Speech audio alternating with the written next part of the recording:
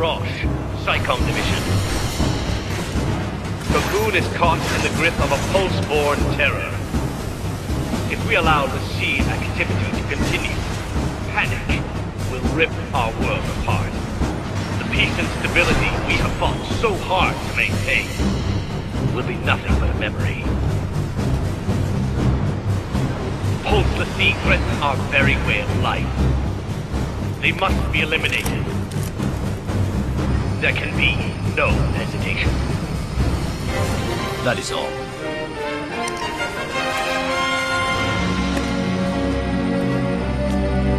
If we fail, our citizens